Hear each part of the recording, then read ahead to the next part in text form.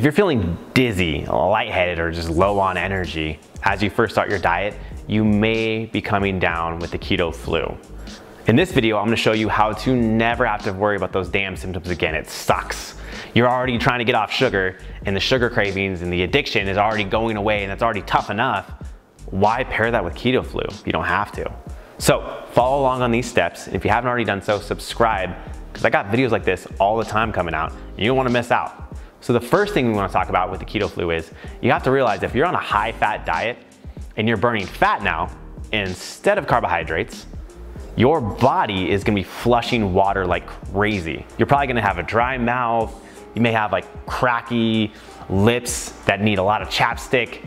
All of this is because carbohydrates actually hold a lot of water. When you bring in fat, it's not gonna hold a lot of water. So you're flushing your kidneys, flushing your liver, and everything that you put in with the water is just flushing. So step one is hydrate like crazy. If you haven't already done so, grab a gallon of water, which we'll talk about what type in a second, and place it by your bed. So first thing in the morning, just start pounding water. I recommend, especially if you're just starting your diet, get a gallon of water in before noon. That way you can kind of coast throughout the day and you also don't wake up at night peeing your brains out. No one wants that. You want to sleep, have good sound sleep and not to just wake up and constantly pee all over the place. No one wants that either. That sucks just as much as the keto flu.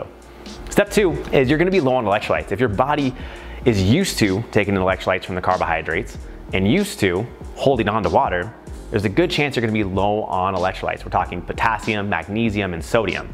If your body's low on those, what's gonna happen is you're gonna start to get that, that like little headache pain, you're gonna start to feel lightheaded, dizzy, so raise your electrolytes. Now this can be done by drinking high quality water like Fiji water or um, an artesian water that still has all the minerals in it and they're not stripped out yet.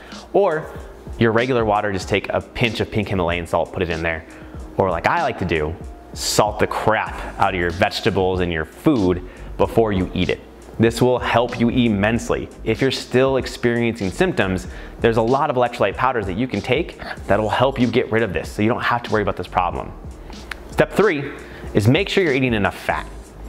On a carbohydrate-based diet, you're used to burning glucose, which is like igniter fuel. It's super, super flammable, burns really quick, and it's easy to get rid of. Think of fat like coal.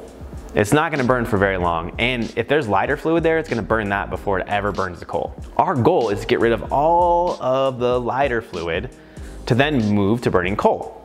If you're still taking in a little bit of lighter fluid, say you're taking in maybe 10 and 15% carbohydrates and not five, your body still recognizes that you're still taking in carbohydrates. It's just gonna give you symptoms of feeling low on carbohydrates. And if you're not taking enough fat, it's gonna say, hey, we have no energy at all. So you don't have coal or lighter fluid to run off of. You're definitely not gonna have energy.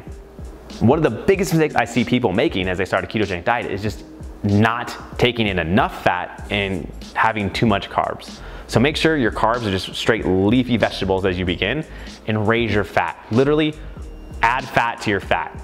Put grass-fed butter on top of your grass-fed ribeye. Make sure that you're adding fat to your fat. Throw avocado on top of your salad, whatever it is. Next, eat a lot of calories.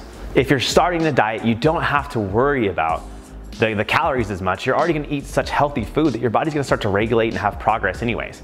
And most of the clients that we see are already on such a low caloric deficit and not losing weight, it's gonna be helpful for you to eat a bunch of calories and regulate your thyroid hormone so you can burn calories for a longer period of time and get you to your end goal faster.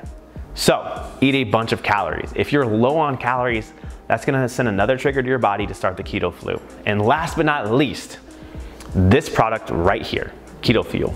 Simply taking in BHB salts, the same kind of thing that happens when you go through ketosis.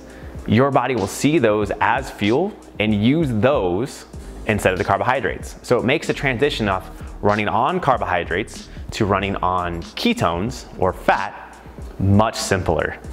So if you haven't already done so, purchase this product. If you're still having keto flu after these symptoms, go see your doctor because you really shouldn't. You should be good. And if you are feeling good, leave a comment below the video. Let us know that this helped you. And then if it helped you, make sure you share it so you can go help other people. Thanks guys.